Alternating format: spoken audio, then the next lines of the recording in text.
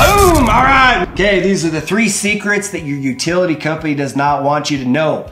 And as soon as I point it out and you see exactly what I'm talking about, the light bulb's gonna go on and you're like, aha, they did not want me to know that. And in fact, it is true. Here's secret number one. The utility companies buy solar at three cents and they sell it to us at 12 to 21 cents a unit. Did you realize that? The utilities companies, they discovered the same thing that we all know. Solar's here, it's more affordable, it does a better job in getting low cost power to us as the consumer. And so what they've done is they are buying power from solar and feeding it directly into your home. So whether you know that you've got solar or not, you've got solar, you're consuming it. The difference is, is if we drop solar directly on your house, we can have a three cent conversation. And if we continue to do it the old model, then we're gonna have a 12 to 21 cent conversation. That's how it is. The other sneak attack that they're gonna do is, as time goes on, they're gonna continue to do rate increases and so that 12 to 21 cents is will actually continue to step up. But if you had solar, solar doesn't care about inflation or anything. So we can have a three cent conversation instead of having this crazy conversation up here. Secret number two, have you noticed that the gas prices have dropped from around $3.50 a gallon to around $2.20 a gallon, and your power bill did not go down. The utility companies do not get all of their power as of yet from solar. They're moving that way. So they consume fossil fuels. Fossil fuels is what causes the power. They take and turn around and sell the power to you. The gas prices used to be up in the $5 range, five, four, whatever. It's now down into the $2, but have you seen a drop in your utility bill? No, that's a sneak attack. That's the secret of having a monopoly. And in fact, if you go look at your bills, your bills never go down. They actually continue to go up. They'll say that it's very expensive to operate a utility company. Therefore, it's gotta have a monopoly, right? It's gotta have a monopoly. It's gotta have a monopoly.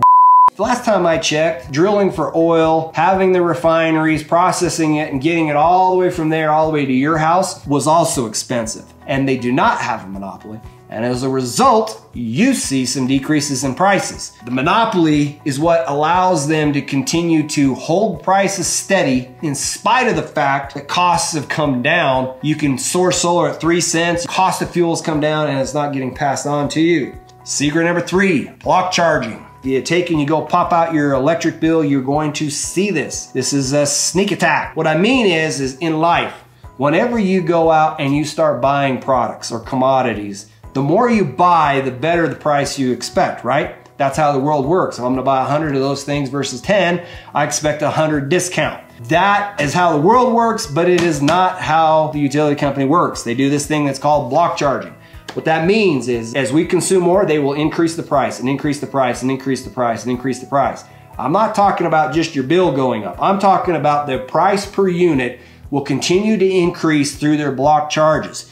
That is how you get a 12 cents to 21 cents per kilowatt hour rate on your bill. This is a sneak attack. It's crazy. I had a, an experience recently where this stuff kind of came to a head a little bit. If you've been looking, I've been putting ads out there and I've got this ad with a bull. The bull is sitting there and he's got this farmer back there trying to milk him. So the little Bill bull's over here getting milked, right? And his eyes pop because he can't milk a bull. That's the problem.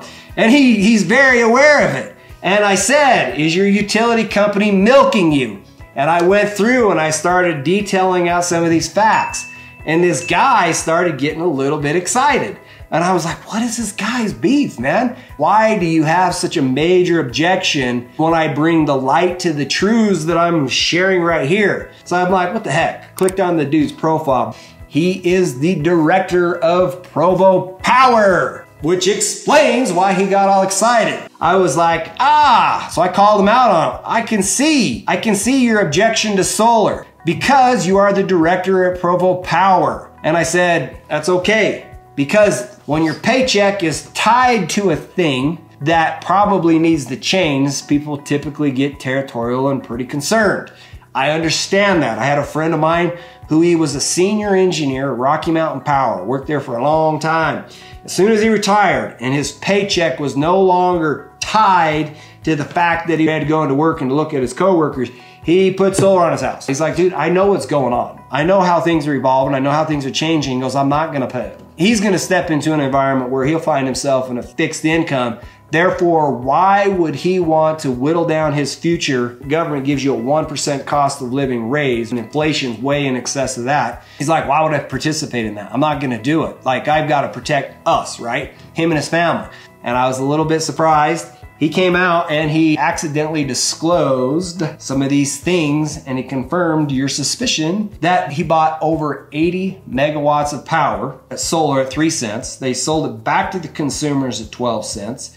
You got solar whether you know it or not. The difference is he's got the middleman position. We could just say, just go straight to the source. I mean, they went here, they went and bought solar to feed it here, to feed it to you. Well, my word, you take this, just put it directly on your house. Boom solve the problem. No longer participating in the middleman squeeze. The cost of the stuff's gone way down. Let's start having three cent conversations instead of 12 to 21 cents. Does that make sense? Anyway, you can go to my website, asksolarmike.com. You can learn more about this. Happy to help. You can send me a DM. Happy to help. Like, I don't know exactly how much money you're spending on your power. What I do know is, as rate increases continue to go up, and we put solar on your house over a 30 year window, you're probably gonna save somewhere between 50 to 100,000 bucks. What I'm talking is, is it's significant amount of money because we put it on, it's less than you're paying now, pays off, you check out. I don't care anymore. Anyway, check it out, go to my uh, webpage, asksolarmike.com.